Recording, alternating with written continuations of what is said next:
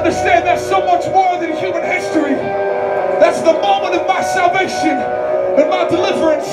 It is because of that blood that was shed on the cross that I can be free and that you can be free.